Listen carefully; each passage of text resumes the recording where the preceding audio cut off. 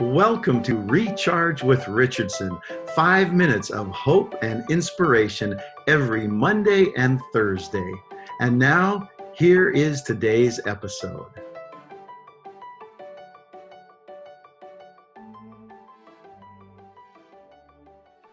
Welcome to today's episode of Recharge with Richardson.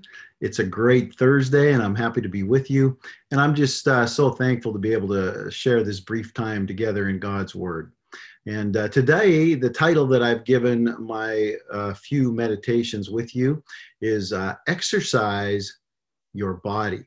Now, if you'll remember the last episode that we had together, I, I talked about exercising our minds. And today I want to look at what we think of a little more traditionally concerning uh, the word exercise and what we normally think of. And uh, you might be wondering, well, what does physical exercise have to do with a relationship with God? This is this is supposed to be some time in God's Word and spiritual enlightenment and so on. But really, uh, let me share with you a Bible verse because that is a good question. What does physical exercise have to do with a relationship with God? First Corinthians chapter 9, verses uh, uh 24 and the first part of verse 25, it says this Do you not know that those who run in a race all run, but one receives the prize? Run in such a way that you may be able to obtain it. And everyone who competes for the prize is temperate in all things.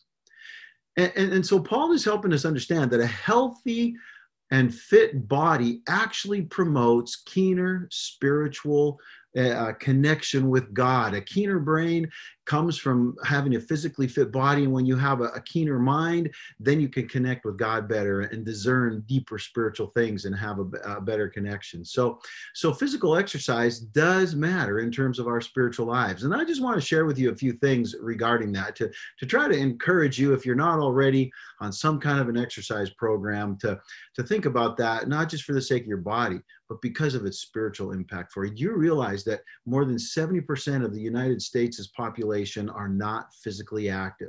That means that we are increasingly, uh, you're really compromising our, our health. Inactivity, in fact, is one of the greatest public health challenges of our century because as we've gotten more sedentary, as technology has increased, and now we sit around, we don't even have to get up to change the channel on the TV, just push a button and uh, and and we have our smart devices and so on. So so it's much much easier to get lazy and not get the activity we need. Whereas when people were doing more manual types of labor, there was that natural piece to that. Another thing that's so concerning is that the problem of child obesity is doubling every 10 to 20 years.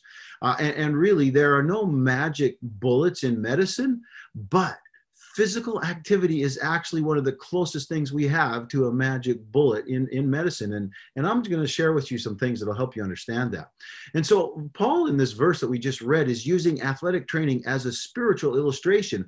But his first point is very clear that physical fitness allows us to compete for the prize, not only of life here, but of eternal life. You see, God created our bodies, and, and he really does care about what, what's happening to them and, and what's going on with them them and, and what kind of shape they're in. And one of the ways that we love God, that we show him that we love him, is and, and that we uh, value what he's created is by being good stewards of our physical bodies and, and honestly, full disclosure, that this has been one of the hardest things for me to learn, and I'm still on that journey personally. I was born, uh, you're just one of these people with a strong constitution. I was born naturally strong and healthy, and I was always able to perform at a very high physical le- level, even without doing any formal fitness training. In, in school, I, I excelled in sports, didn't have to train or do much of anything uh, with that. But and, and so that was just sort of my natural gift. Now, I but here's the other piece piece. I've always liked food, and I felt that I ought to show my gratitude to those who cook it for their effort by eating a lot of it at every meal. And so you can imagine when I'm young and, and active and, and growing and metabolism is, is really moving along, you know, not a problem. But getting out of my 20s and, and, and 30s and then into my late latter 30s and then into the 40s, I didn't have any exercise habits because, as I say, I'd always done well physically. And, and as my metabolism slowed down, my eating didn't. So you can guess what happened, right? Yeah. yeah, I got slowly, I, got more out of shape and more overweight. And, and uh, every so often, you know, my conscience will tell me, hey, you need to do something about this. You need to change. You need to be a good steward of your body. But it's hard to change. And I got to be honest, I like food, it's great stuff. But I'm trying to take steps in that direction in my life. I've I've I've cut back. I'm trying to eat smaller portions, not eat later in the evening. Sometimes skip supper because I've had a big lunch. Um, I'm working on doing aerobic exercises, trying to get that regularly two, three times a week, and and and just trying to be a little better of a steward there because I, I realize what God says in His Word about it, and I still have a long way to go. I haven't managed to get all the way where I want to be, but with God's help and with some uh, with, the support of good friends around me, I'm making progress uh, in the right direction. And, and, and so there are two kinds of physical activity that I really want to just touch on with you here. And I won't be able to get to the second one until our next episode. There are two kinds, though. There's aerobic exercise and then there's strength training. And I'm just going to touch on aerobic exercise for a little bit here with us this morning. Aerobic exercise is what elevates your heart rate and improves your cardiovascular fitness. Now, there are tons of benefits that come along with, uh, with aerobic exercise. Uh, first of all, as I said, since it elevates your heart rate and, and gets your blood pumping, and your blood vessels moving and everything, there, there are some really great effects of this.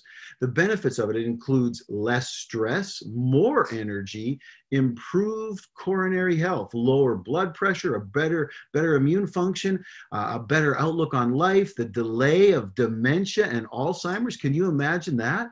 How would you like to, if, if you, you may or may not know if whether you're at risk for that or not, I don't know if it runs in your family, but, but just doing aerobic exercise can delay dementia and Alzheimer's if you might be pro to that. It increases longevity on top of it. In fact, I'm going to share with you an amazing statistic in a few moments.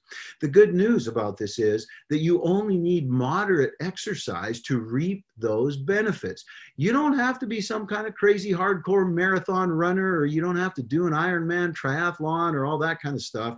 What they're telling us is, is that if we do about 10 minutes of moderate activity about three times a day throughout the day, uh, that that's enough to really give us these kind of benefits. This is going to blow your mind. But Dr. Paffenbarger, uh, he did a, a, study on aerobic exercise, looking at 17,000 Harvard alumni, and here's what his research found.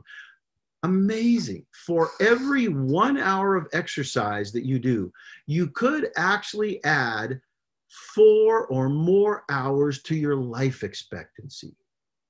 That's amazing you can almost turn back the clock, or at least you can slow it way down uh, by getting the right amount of exercise. That's almost discovering a fountain of youth.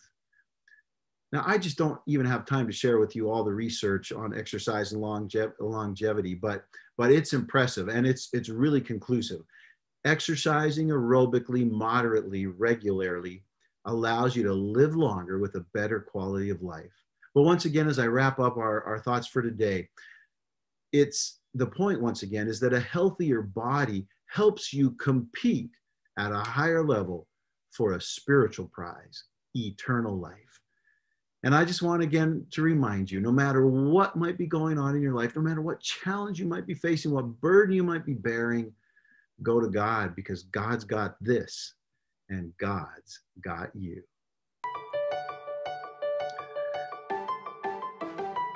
Thank you for joining us for Recharge with Richardson. Don't forget to join us for our next episode, and until then, may God fill you with joy and peace and hope.